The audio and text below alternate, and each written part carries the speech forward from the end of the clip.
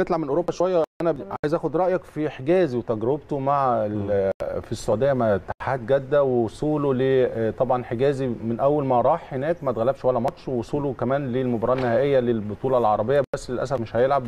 تجربة صلاح إيه؟ وخاصة بعد ما طلب اتحاد جدة آه، تفعيل آه، تفعيل بند يعني شراء حجازي من ويست بروميتش أسوأ غلطة لويست بروميتش السنة دي. صحيح. خسرتهم مكانهم في الدوري الإنجليزي هم هينزلوا هينزلوا. تعديل وضع ويست بروميتش هيبقى صعب جدا.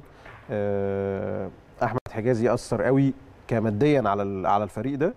وفي مركزه في خط الدفاع الدفاع بتاعهم سيء جدا. آه، خطوة وجود حجازي مع اتحاد جدة هي خطوة أنا شايفها فنيا لحجازي جيدة قوي. ليه؟ لأنه حجازي لعيب مستوى عالي قوي. يعني كمدافع من أفضل المدافعين اللي موجودين في الجيل بتاعه. صحيح. آه، في نفس الوقت مستوى المنافسة بقى في الدوري السعودي أخف بكتير جدا من ال Premier League فحجازي مش تحت ضغط وبيظهر إن هو النجم رقم واحد تديله ثقة في نفسه طول الوقت مش محطوط طول الوقت تحت ضغط بالعكس واخد ثقة بيلعب قائد للفرقة بتاعته.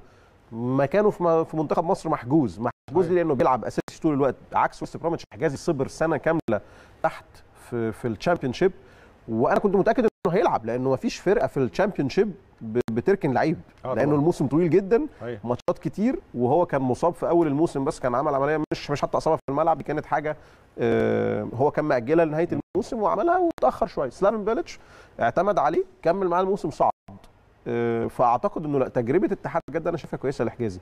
بس كمان أنا شايف ان حجازي دايما عنده الطموح انه يبقى موجود في أوروبا.